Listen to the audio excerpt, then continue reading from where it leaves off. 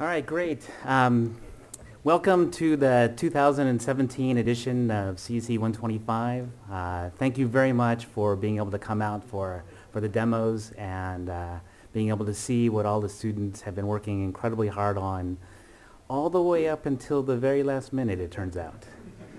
Um, so um, if you've never been to the demos before, the way it's going to work is I'm, I'm just going to give an overview of the class to give you a sense of, of what the class is trying to achieve and, and what the students are able to do and where they're coming from. And then um, after I'm done, uh, we'll just go through each of the groups, and the groups will be able to explain the games that they set out to uh, design and implement this quarter, and then um, give a demo, and we'll actually ask for volunteers from the audience to, to come play as well. Um, and you know, unlike other classes, um, this actually forms essentially their final exam. It's very scary when your final exam is in front of hundreds of people streamed live on the internet. Okay, so let me tell you a little bit about what, uh, what we're trying to achieve with the course. So um, at a very high level, what I want the students to be able to experience, it's, it's a very different kind of course than other computer science courses, because I want them to experience what it's like to work on an in very intense project. Uh, we're on the quarter system, we only have 10 weeks, um, but you know, with 10 weeks, you can actually do a lot, um, and, um, and I want them to shoot really, really high. And as you'll see, they, they definitely have done that. And then I also want them to experience what it's like working in, in a large group. They've worked on group projects before, but nothing like this, where you're working with five or six other people at the same time, and you're depending upon them, and everybody's depending upon each other. You know, maybe it's not quite as many people up on the screen, but sometimes it does feel like that.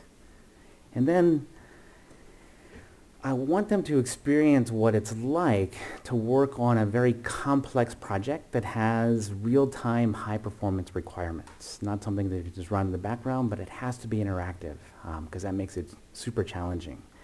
And from my perspective, where I'm coming from, what I want the students to be able to learn as a result of, of doing the projects in this class is what it's like to design and implement a distributed system um, where you have multiple nodes, um, it's real time, and everything has to work, and all of these machines have to cooperate with each other to make everything work out. And that winds up being a very, very challenging problem. And so that's what I want the students to learn. To make the, the class fun, the actual distributed system that they implement is a game, a multiplayer interactive game. So the students think that they're building games, and I, I'm thinking that they're building distributed systems, and both sides uh, work out well as a result. And um, one thing that I, I really want you to keep in mind once we get to the demo portion is that everything that you're seeing the students presenting is from them. Every, all of the creativity, all of the code, everything that they, they've done, it is call, coming all from them. And uh, what's, it's amazing every year what the students are able to come up with and it's going to be a lot of fun to, to go through all of the projects.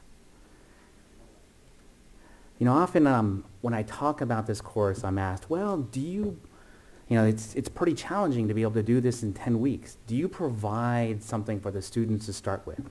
And it turns out I do. You know, it's, it's a little bit of starter code for them to get going. And then they say, well, you know, how much detail do you provide in the assignment? And I say, look, I, I, I make it very, very explicit what it is they have to accomplish. and after this, they're off to the races. And it turns out that one of the groups this year um, did their entire implementation in JavaScript. No problem, I have them covered as well. so what I want to do is, is give a little bit of a sort of a sense of what it's like to, to go through the weeks of the quarter um, from my perspective um, as we go through the course. And, um, you know, at the beginning, everybody's happy, having a lot of fun. This is going to be, this is going to be really great, no problems at all. Um, everybody gets started uh, making progress on development. You know, midway through the quarter, things are going well. And uh, um, one of the things that, that I do with all of the groups is I ask them um, that they, every student in the course, every week has to fill out essentially a developer diary, a report of what it is that they've worked on during the week, what problems they had, what they learned, and what they're going to be doing uh, um, next week as well. And from an instructor's viewpoint, um, what's really great about these reports is it gives you a little insight into actually what's going on inside the students' heads, which can be very interesting um, over time. So, you know, you'll see that, you know, the um, students set high goals for themselves implementing the animation systems, and sometimes they run into to trouble when they're trying to do it. Um, and uh, there, you know, there are life lessons, uh, life lessons to be learned as well. So, you know, we, we try to keep everybody healthy, but unfortunately, um, it doesn't always work out that well. And then, you know, from my perspective, I'm reading the reports from all of the students every week, and after a while, you start to detect some themes. Like, for example, well, you know, math can be hard, and then turns out that games can be hard, and then, you know, it only took four years for them to realize that actually school is hard as well. And then um, at the very end, there's a little bit of sort of hope and pleading that happens, that, um, you know, the moment has arrived, and hopefully everything is going to work out. And I really hope everything is going to work out. Okay. Now, one of the, one of the favorite things about teaching this course is seeing what happens in sort of, you know, from beginning to end. Because the, um, the students are really starting from scratch. And, you know, at the, at the very beginning of the quarter, they're sort of coming up with ideas and trying to imagine what it is they want their game to be like.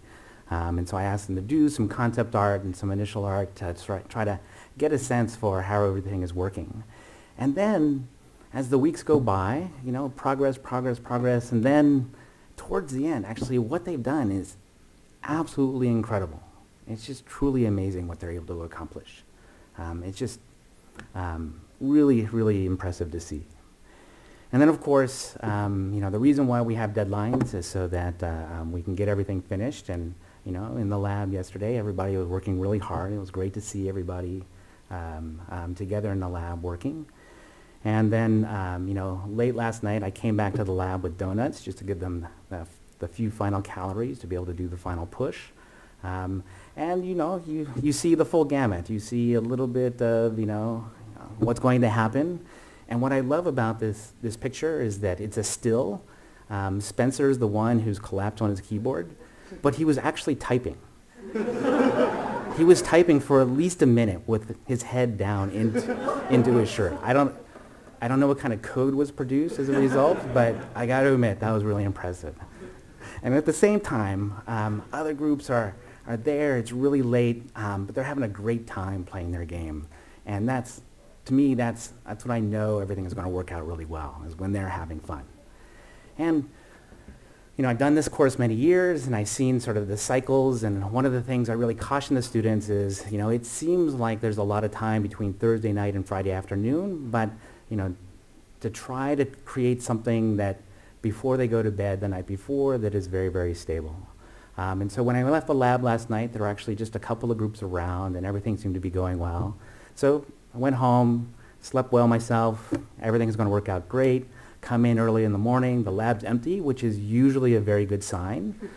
Um, you know, maybe Kevin was actually asleep. Um, and then we got everything set up, and I was waiting for the students to, to test, test run everything, and, and nobody was there. I was like, well, what's going on? Then go down in the lab, two hours before the demos, everybody's scrambling around getting everything to work. But in the end, this actually does happen all the time, um, and um, everything does work in the end.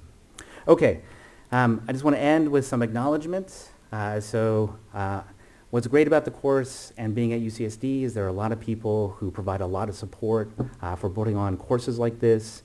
So Danny and Sally and ACMS were incredibly helpful in getting the, the lab software and hardware and accounts all installed.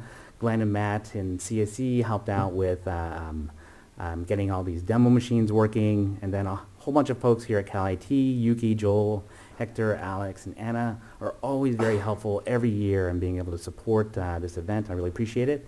And I also try to have folks from the games industry come and, and give, um, give guest lectures in the course. And so I, I do want to thank uh, Jerome Coe, Robert Dunlap, and uh, Russ Patterson for being able to come and, and speak to the students. It's, it's always hugely valuable for them to, to hear from folks who have, who have lived through this. And then I also want to uh, call out Ray Ching and thank him very much for all of the help that he's given the students in the lab. Um, he answers actually all the hard questions. Um, anybody, anytime students have something that I can't figure out, I just point them at Ray Ching. So thanks a lot, Ray Ching.